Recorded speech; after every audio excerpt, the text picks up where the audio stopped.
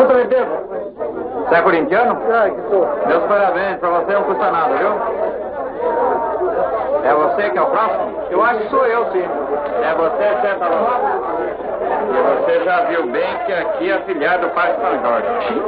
Eu não tolero futebol. É bem mais viado, hein, doutor?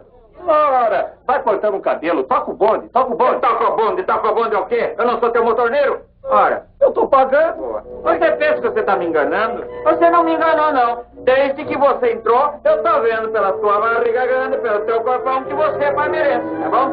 E se eu fosse? Se eu fosse, não. Quero saber se você é. Então eu vou te falar uma coisa. Eu sou palmeirense. Sai daqui pra fora.